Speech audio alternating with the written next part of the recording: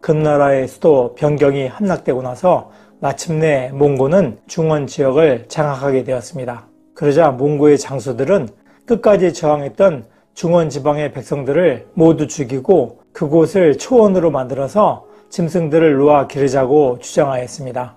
이때 야유열 초제는 백성들을 죽여서 그곳을 초원으로 만들지 말고 중원 백성들에게 세금을 걷는 것이 유리하다 하고 진언을 했습니다.